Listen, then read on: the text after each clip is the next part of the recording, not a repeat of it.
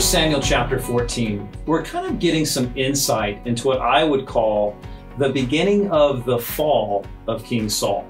There's a couple things happening in this chapter. Jonathan, King Saul's son, evidences tremendous faith in God. He, he's with his armor bearer and he says, Hey, there's the Philistine camp over there. Let's see if God is with us. Let's go and let's take the fight to them. And we'll tell them, Hey, we're here representing the Lord. And we'll see if God is with us in our victory. And as you read the chapter today, you'll see that God confuses the ranks of the Philistine and uses Jonathan for a victory.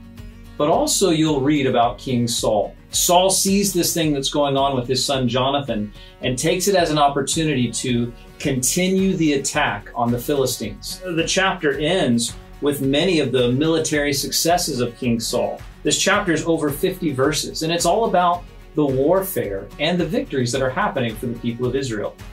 But tucked in this chapter is an interesting excerpt into Saul's life.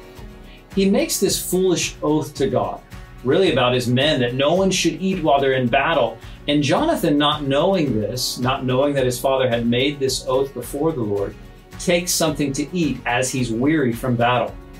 And in Saul's madness, out of anger, he even begins to pursue his son, trying to take his life because Jonathan broke this oath that Saul made rashly. You know, it reminds me something that the brother of Jesus once said in James chapter 1, verse 19. He, he says this Understand this, my dear brothers and sisters. You must be quick to listen and slow to speak. King Saul was not given a command or a direction from God to make this oath. We just kind of read and infer that he made it, kind of rashly. And doing so, knowing that he made a mistake, it's almost like he has to fix his mistake by going after the life of his own son. It's interesting. In this chapter, in this time in the book of 1 Samuel, we're beginning to see Saul begin to unravel.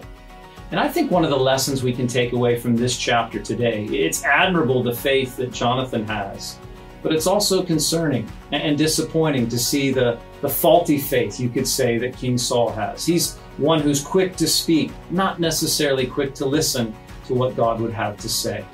So, in today's chapter, may we be more like Jonathan, willing to take steps of faith for the Lord, and less like Saul, being quick to speak and not quick to listen. Today, open up your heart to the Lord and listen to what He would have to say to you.